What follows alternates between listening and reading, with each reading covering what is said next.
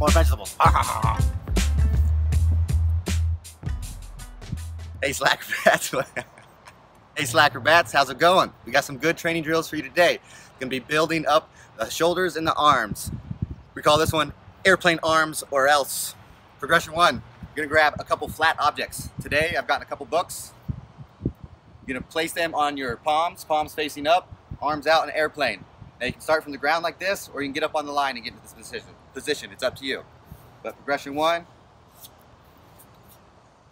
Starts at the anchor point with the arms up and out. Again, palms up. We're walking across the line. Trying to keep a nice, even plane with the arms.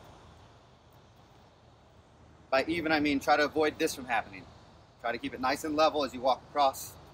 Make sure you engage your side body and extend up through the spine, lifting the head up.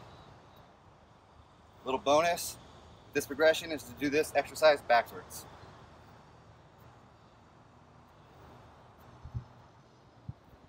Okay, moving on to progression two.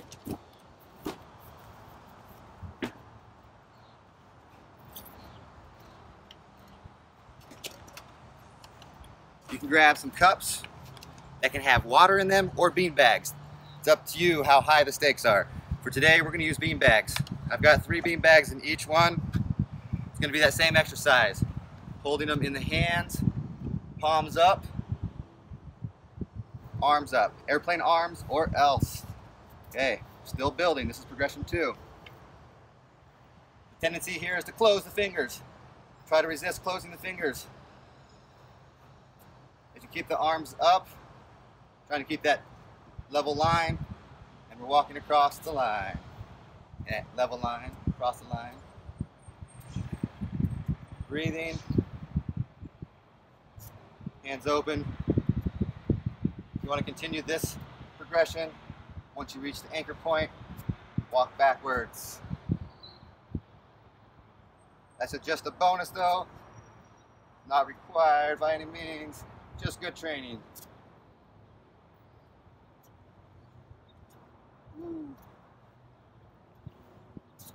The other key element, try to keep these arms straight. Try to keep the fingers open. open.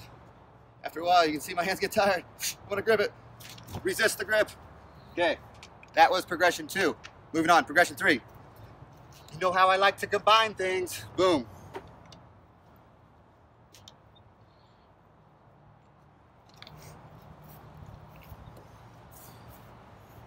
All right, this is part of the technique, just learning to get this. Here we go.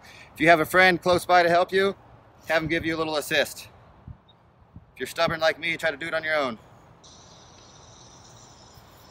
Here we go. Again, the stakes go higher if you put water in the cup. The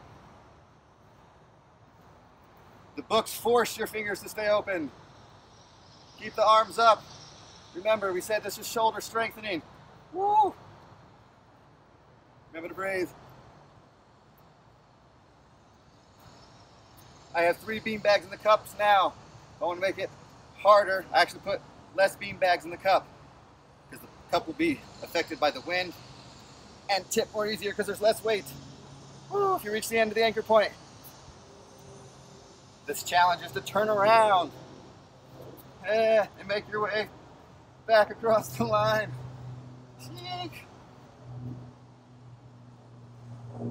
do it. Send us your videos. Keep training. Till next time, Slackrobats. Peace.